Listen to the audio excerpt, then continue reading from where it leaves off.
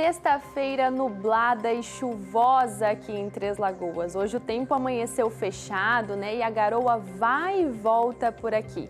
A máxima hoje aqui será de 30 graus é até bem fresquinho, né, gente? Se comparado com os 34 graus aí de todos os dias. E olha só, dar um pulinho lá fora para ver se continua nublado o tempo, se continua fechado. Olha aí, tempo fechado aqui em Três Lagoas, desde quando acordei hoje, viu, gente? Já estava assim, já choveu, já parou. Então, olha, esse será na verdade, mais ou menos todo final de semana aqui em Três Lagoas. Tempo fechado, o sol não pretende sair por hoje aqui, viu? Não sei se ele mudará de ideia, mas hoje será assim: tempo fechado, chuva, garoa, vai e volta. E no final de semana, a chuva continua na maior parte do sábado e no domingo haverá pancadas de chuvas isoladas nas principais cidades da costa leste. Então vamos conferir então o tempo e a temperatura para este final de semana. Três Lagoas então registra mínima de 23 graus e máxima de 30 graus.